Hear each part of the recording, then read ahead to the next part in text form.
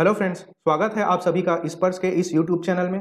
Current affairs के इस video series में आज हम छत्तीसगढ़ के परीक्षोपयोगी महत्वपूर्ण तथ्यों पर चर्चा करेंगे।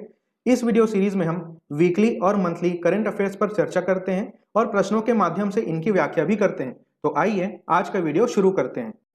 आज का हमारा पहला प्रश्न है, हाल ही में नीति आयोग द्वारा जारी आकांक्षी जिलों की डेल्टा रैंकिंग में कौन ओवरऑल रैंकिंग में शीर्ष आकांक्षी जिला बना है? और हमारे विकल्प हैं, नारायणपुर, कोरापुट बारामुल्ला या खगड़िया? इस प्रश्न का सही जवाब होगा दोस्तों, ऑप्शन नंबर डी, खगड़िया। और यह खगड़िया जिला बिहार राज्य में स्थित है। दोस्तों, हाल ही में नवंबर 2021 की स्थिति में नीति आयोग के द्वारा आकांक्षी जिलों की डेल्टा रैंकिंग जारी की गई है, जिसमें विभिन्न श्रेणियों में शीर्ष आकांक्षी जिलों के बारे में हम चर्चा करेंगे। तो यहाँ पर आप देख पा रहे हैं ओवरऑल रैंकिंग की अगर हम बात करें तो बिहार का खगड़िया जिला इसमें अव्वल रहा। कृषि और जल आपूर्ति की श्रेणी में अगर हम बात करें तो जम्मू कश्मीर का बारामुल्ला जिला अव्वल रहा। शिक्षा के क्षेत्र में, ओडिशा का कोरापुट और इसी क्रम में फाइनेंशियल इंक्लूजन व स्किल डेवलपमेंट में राजस्थान का धौलपुर जिला अव्वल स्थान पर रहा है। अगर हम छत्तीसगढ़ के परिप्रेक्ष्य में बात करें तो स्वास्थ्य व पोषण के क्षेत्र में छत्तीसगढ़ का नारायणपुर जिला शीर्ष स्थान दर्ज कराने में कामयाब रहा। तो आगामी परीक्षा की दृष्टिकोण से ये तथ्य बहुत ज़्यादा महत्वपूर्ण है, इसलिए ये सारे तथ्य को आप बिल्कुल ध्यान में रखिएगा। बढ़ते हैं अगले प्रश्न की ओर। आज का हमारा दूसरा प्रश्न है। India state of forest report 2021 के अनुसार किस राज्य के वन क्षेत्र में सर्वाधिक वृद्धि दर्ज की गई है? और हमारे विकल्प है आंध्र प्रदेश, तेलंगाना, कर्नाटक या ओडिशा।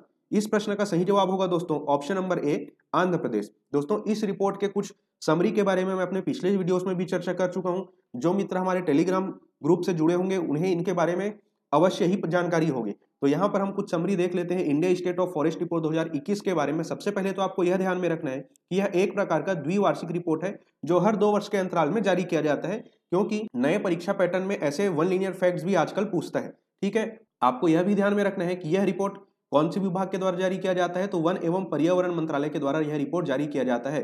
अब अगर हम भारत के परिप्रेक्ष्य में बात करें तो वर्ष 2019 की तुलना में देश में वनों एवं पेड़ों के क्षेत्र में कुल वृद्धि हुई है। दो हज़ार दो सौ इकसठ वर्ग किलोमीटर। वन क्षेत्र में अगर हम वृद्धि की बात करें तो ये वृद्धि दर्ज की गई है 1540 वर्ग किलोमीटर।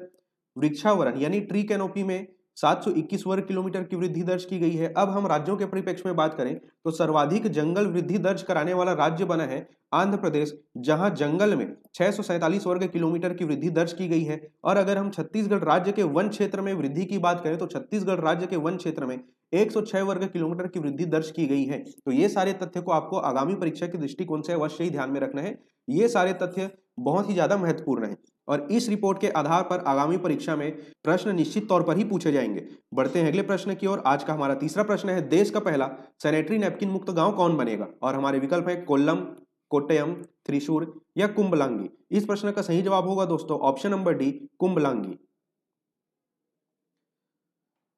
दोस्तों, कुंभलांगी केरल राज्य का एक गाँव है जो देश का पहला सैनिटरी नैपकिन मुक्त गाँव बनेगा और यह गाँव केरल के एर्नाकुलम ज़िले में स्थित है। बढ़ते हैं अगले प्रश्न की ओर। हमारा चौथा प्रश्न है, स्वच्छ विद्यालय पुरस्कार का उद्देश्य निम्न में से क्या है? और हमारे विकल्प है, स्कूलों के माध्यम से गाँव में सफ़ाई अभियान करवाना स्वच्छता के बारे में जागरूकता एवं स्वप्रेरणा को बढ़ावा देना, ग्रामीणों के माध्यम से स्कूलों में श्रमदान से सफ़ाई करवाना या पंचायत सदस्यों की सहभागिता से स्कूलों को स्वच्छ रखना। इस प्रश्न का सही जवाब होगा दोस्तों, ऑप्शन नंबर बी, स्वच्छता के बारे में जागरूकता एवं स्वप्रेरणा को बढ़ावा देना। दोस्तों, यह पुरस्कार केंद्रीय शिक्षा मंत्रालय के द्वारा दिया जाएगा और इस पुरस्कार का उद्देश्य है स्वच्छता के बारे में लोगों में जागरूकता एवं स्वप्रेरणा को बढ़ावा देना। बढ़ते हैं अगले प्रश्न की ओर। आज का हमारा पांचवा प्रश्न है, हाल ही में किन्हें इसरो का नया चेयरमैन नियुक्त किया गया है और हमारे विकल्प हैं पी जगन्नाथ, के सिवान, एस सोमनाथ या राम श्रीनिवासन। इस प्रश्न का सही जवाब होगा दोस्तों, option number C, S Somanath. दोस्तों तो एस सोमनाथ जी को इसरो का नया चेयरमैन नियुक्त किया गया है। दोस्तों, इसरो की स्थापना वर्ष उन्नीस सौ उनहत्तर में की गई थी, जिसे आप Indian space and research organization यानी भारतीय अंतरिक्ष अनुसंधान संस्थान के नाम से जानते हैं। और एस. सोमनाथ जी, वर्तमान अध्यक्ष के सिवान जी के स्थान पर पदभार ग्रहण करेंगे। बढ़ते हैं अगले प्रश्न की ओर। हमारा अगला प्रश्न है, हाल ही में कौन आईपीएल का नया मुख्य प्रायोजक बन गया है? और हमारे विकल्प हैं, रिलायंस समूह, पतंजलि, टाटा समूह या सहारा ग्रुप। इस प्रश्न का सही जवाब होगा दोस्तों, ऑप्शन नंबर सी, टाटा समूह। तो दोस्तों, टाटा समूह ने आईपीएल का नया प्रायोजक बनने में कामयाबी हासिल की है। आईपीएल बीसीसीआई के द्वारा आयोजित एक टी क्रिकेट प्रतियोगिता है और इस प्रतियोगिता के अगले दो वर्ष के मुख्य प्रायोजक टाटा समूह होंगे। बढ़ते हैं अगले प्रश्न की ओर। हमारा सातवां प्रश्न है, हाल ही में नीदरलैंड्स के नए प्रधानमंत्री कौन बने हैं? और हमारे विकल्प हैं Mark Root, Steve George, Louis Bell या विलियम ड्रेस। इस प्रश्न का सही जवाब होगा दोस्तों, option number A, Mark Root. हमारा आठवां प्रश्न है, हाल ही में प्रधानमंत्री नरेंद्र मोदी ने किस दिन को वीर बाल दिवस के रूप में मनाने की घोषणा की है? और हमारे विकल्प हैं 24 दिसंबर 25 दिसंबर 26 दिसंबर या 27 दिसंबर। इस प्रश्न का सही जवाब होगा दोस्तों, ऑप्शन नंबर सी 26 दिसंबर। दोस्तों, गुरु गोविंद सिंह के छोटे साहिबजादों के बलिदान की याद में वर्ष 2022 से 26 दिसंबर को प्रतिवर्ष अब वीर बाल दिवस के रूप में मनाया जाएगा। बढ़ते हैं अगले प्रश्न की ओर। आज का हमारा नौवा प्रश्न है। हाल ही में मणिपुर में कितनी अवधि के लिए सशस्त्र बल विशेषाधिकार अधिनियम यानी अप्सफा कानून को बढ़ा दिया गया है? और हमारे विकल्प है, छह माह, आठ माह, दस माह या बारह माह। इस प्रश्न का सही जवाब होगा दोस्तों, ऑप्शन नंबर डी, बारह माह यानी एक वर्ष। दोस्तों, जैसा कि आप स्क्रीन पर देख पा रहे हैं, मणिपुर में अप्सफा कानून को एक वर्ष के लिए बढ़ा दिया गया है। अप्सफा कानून का मतलब होता है armed force special power act, जिसे आप सशस्त्र बल विशेषाधिकार अधिनियम के नाम से जानते हैं, और यह अधिनियम उन्नीस में एक अध्यादेश के माध्यम से लाया गया था।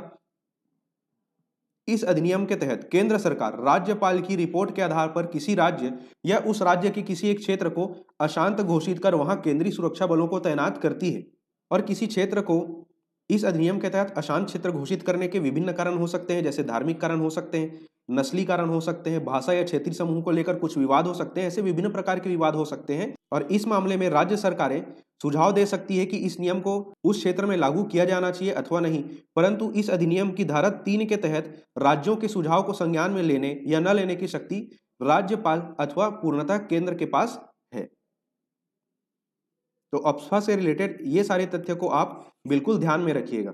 बढ़ते हैं अगले प्रश्न की ओर। आज का हमारा दसवां प्रश्न है, निम्न में से किन्हें एशियाई अवसंरचना निवेश बैंक यानी एआईआईबी का नया उपाध्यक्ष नियुक्त किया गया है? और हमारे विकल्प हैं शक्तिकांत दास, रघुराम राजन, माइकल पात्रा या उर्जित पटेल। इस प्रश्न का सही जवाब होगा दोस्तों, option number D, Urjit Patel. दोस्तों, उर्जित पटेल जी के बारे में आप बिल्कुल ही जानते होंगे। उर्जित पटेल जी पहले रिज़र्व बैंक ऑफ़ इंडिया के भी गवर्नर रह चुके हैं। बढ़ते हैं अगले प्रश्न की ओर। आज का हमारा ग्यारहवा प्रश्न है, देश में किस तिथि को प्रतिवर्ष युवा दिवस के रूप में मनाया जाता है? और हमारे विकल्प है, ग्यारह जनवरी, बारह जनवरी, तेरह जनवरी या चौदह जनवरी। इस प्रश्न का सही जवाब होगा दोस्तों, ऑप्शन नंबर बी, बारह जनवरी। दोस्तों, आप सभी को बिल्कुल पता ही होगा 12 जनवरी को हम स्वामी विवेकानंद जी की जयंती के रूप में पूरे देश में युवा दिवस मनाते हैं। और इस तिथि को युवा दिवस के तौर पर मनाए जाने की घोषणा पूर्व भारतीय प्रधानमंत्री इंदिरा गांधी जी के द्वारा की गई थी। आज का हमारा बारहवा प्रश्न है, पाँच राज्यों में होने वाले आगामी विधानसभा चुनाव में निम्न में से कौन सा राज्य शामिल नहीं है? और हमारे विकल्प है उत्तर प्रदेश, पंजाब, गोवा या उड़ीसा। इस प्रश्न का सही जवाब होगा दोस्तों, ऑप्शन नंबर डी उड़ीसा दोस्तों, अगर आप अखबारों का रोज़ाना अध्ययन करते होंगे तो आपको बिल्कुल पता ही होगा कि अभी फरवरी से पाँच राज्यों में विधानसभा चुनाव आयोजित किए जाने हैं और ये पाँच राज्य होंगे, उत्तर प्रदेश, उत्तराखंड, पंजाब गोवा और मणिपुर। तो ये पाँच राज्यों का नाम आप बिल्कुल ध्यान में रखिएगा, क्योंकि आगामी परीक्षाओं में ऐसे प्रश्न पूछे जा सकते हैं कि निम्न में से किन राज्यों में फरवरी 2022 में विधानसभा चुनाव प्रस्तावित है या कौन सा राज्य इसमें सम्मिलित नहीं है। तो ये पाँच राज्यों के नाम आपको ध्यान होने बहुत ही आवश्यक है। बढ़ते हैं अगले प्रश्न की ओर। आज का हमारा तेरहवा प्रश्न है। हाल ही में जारी हिंडले पासपोर्ट इंडेक्स 2021 में भारत कौन से स्थान पर रहा है? और हमारे विकल्प हैं बयासीवा, तिरासीवा, चौरासीवा या पचासीवा। इस प्रश्न का सही जवाब होगा दोस्तों, ऑप्शन नंबर बी, तिरासीवा स्थान। दोस्तों, इस इंडेक्स में जो वर्ष 2021 के बेस पे जारी की गई है, अगर हम शीर्ष पायदान प्राप्त करते देश की बात करें तो पहले स्थान पर है सिंगापुर व जापान, जो संयुक्त रूप से पहले स्थान पर बने हुए हैं। उसी प्रकार दूसरे स्थान पर जर्मनी व दक्षिण कोरिया संयुक्त रूप से बने हुए हैं और भारत का स्थान इस सूची में तिरासीवा है। अगर पिछले वर्ष से हम तुलना करें तो वर्ष 2020 में भारत नब्बेवें स्थान पे था और इस वर्ष इस सूची में भारत सात पायदान ऊपर आ गए हैं और इस प्रकार भारत तिरासीवें पोजीशन पर बना हुआ है। तो इस इंडेक्स में भारत की रैंकिंग को आप अवश्य ही ध्यान में रखिएगा। बढ़ते हैं अगले प्रश्न की ओर। आज का हमारा चौदवा प्रश्न है। आईएमएफ के द्वारा किन्हें अपना नया मुख्य अर्थशास्त्री नियुक्त किया गया है? और हमारे विकल्प हैं James Heckman, Martin Feldstein, Gary Becker या पियरे ओलिवियर। इस प्रश्न का सही जवाब होगा दोस्तों, option number D, Pierre Olivier. दोस्तों, पीरे ओलिवियर गीता गोपीनाथ के स्थान पर पदभार ग्रहण करेंगे और गीता गोपीनाथ के बारे में एक तथ्य आपको पहले से ही पता होगा कि गीता गोपीनाथ को आईएमएफ की पहली उप प्रबंधक निदेशक नियुक्त किया गया है। बढ़ते हैं अगले प्रश्न की और आज का हमारा पंद्रवा प्रश्न है। गोल्डन ग्लोब अवार्ड 2022 में बेस्ट एक्टर का खिताब किन्हें दिया गया? और हमारे विकल्प हैं कोडी स्मिथ, विल स्मिथ, हंस जिमर या रेचल मारिया। इस प्रश्न का सही जवाब होगा दोस्तों, option number B, Will Smith. दोस्तों गोल्डन ग्लोब अवार्ड 2022 में हम कुछ श्रेणियों में विजेताओं की अगर बात करें तो यहाँ पर आप स्क्रीन पर देख पा रहे हैं बेस्ट एक्टर का अवार्ड दिया गया है विल स्मिथ को बेस्ट एक्ट्रेस का अवार्ड दिया गया है निकोल किडमैन को, उसी प्रकार बेस्ट फ़िल्म का अवार्ड दिया गया है द पावर ऑफ़ डॉग को और इस फ़िल्म के डायरेक्टर जेन कैंपियन को बेस्ट डायरेक्टर का खिताब दिया गया है। आज का हमारा सोलवा प्रश्न है, हाल ही में केंद्र सरकार वी आई यानी वी मोबाइल ऑपरेटर कंपनी में कितने प्रतिशत की शेयर धारक बन गई है? और हमारे विकल्प हैं, तीस प्रतिशत, तैतीस प्रतिशत, छत्तीस प्रतिशत या अड़तीस प्रतिशत। इस प्रश्न का सही जवाब होगा दोस्तों ऑप्शन नंबर सी छत्तीस प्रतिशत। दोस्तों वी मोबाइल ऑपरेटर कंपनी यानी वोडाफोन आइडिया के बारे में आप अवश्य जानते होंगे। हाल ही में केंद्र सरकार इस कंपनी में पैंतीस दशमलव आठ यानी छत्तीस प्रतिशत की शेयर धारक बन गई है। तो दोस्तों, आज की वीडियो में सिर्फ़ इतना ही। जल्द मिलेंगे आपसे। जनवरी माह के तीसरे सप्ताह के छत्तीसगढ़ और राष्ट्रीय और अंतर्राष्ट्रीय करंट अफेयर्स की नई वीडियो के साथ। तो इंतज़ार कीजिए हमारी अगली वीडियो का। इस वीडियो को अंत तक देखने के लिए आपका धन्यवाद।